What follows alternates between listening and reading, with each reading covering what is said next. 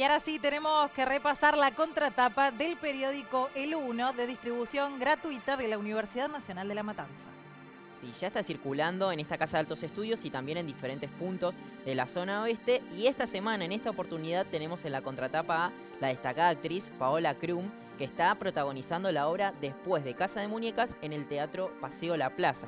Obra que podés ver de jueves a domingos en este espacio teatral. Y que te cuento, Marina, que es una obra en la que Paola realmente da una cátedra de actuación, porque es excelente ya de por sí el texto, también las actuaciones, tanto de ella como de sus compañeros, Jorge Suárez, Julia Calvo y también de eh, Jimena Grandinetti, que ayer ha ganado, Laura, perdón, Grandinetti, que ayer ha ganado como revelación femenina por este espectáculo. Te cuento que en la obra Paola Krum encarna a Nora, quien es un personaje que si viste en su momento después de Casa de Muñecas o leíste el texto de Henrik Ibsen, es un personaje icónico en lo que es el teatro, se contextualiza más o menos en el 1800 esta puesta escénica y culmina con Nora, esta mujer famosa y controversial que da el portazo en su casa, abandona a su pueblo y a su familia y en este caso, en Después de Casa de Muñecas, retorna hacia ese lugar y va a tener que enfrentarse a diferentes situaciones. Básicamente ella llega porque sufre la extorsión de un juez. Llega como una reconocida escritora feminista y se va a enfrentar a diferentes circunstancias que van a aparecer en ese pueblo. Estuvimos charlando con Paola acerca de cómo llegó esta propuesta. Ella nos contaba que ya de por sí conocía obviamente lo que era Casa de Muñecas. Cuando se entera que que tiene la posibilidad de encarnar a Nora, sintió una emoción muy grande realmente porque cualquier actriz nos planteaba que querría hacer este personaje, lo cual también le requirió de mucho compromiso, ¿no? Y que trabajó con Javier Dolte, que es el director de esta propuesta teatral, a quien ella considera que la hizo crecer también mucho como actriz.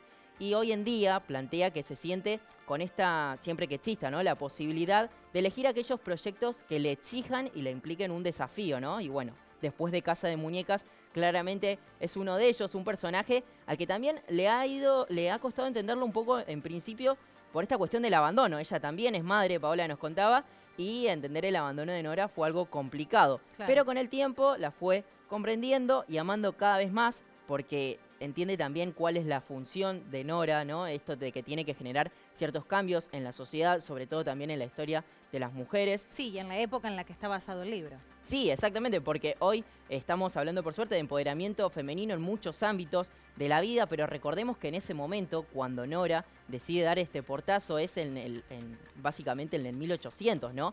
Entonces, tiene toda una cuestión de épocas, hay un diálogo de épocas también muy interesante, así que podés ver esta propuesta después de Casa de Muñecas, todavía en el Paseo de la Plaza quedan algunas funciones, y Paola también charlamos lo que es su rol como directora, ¿no? Porque debutó el año pasado en microteatro, este formato que, le está yendo muy bien en Buenos Aires, con eh, la obra Las Preciosas, y que también estuvo a cargo de la dirección de ¿Qué cosa es el amor? Un espectáculo en el que incorporaba la música y en base a esto nos decía que le interesaría continuar en este rol de la dirección y afianzando un poco también lo que es lo musical, ¿no? Una de las artes que trasciende fronteras y que llega a todo el mundo. Así que es otra de las posibilidades que continuemos viendo a Paola como directora.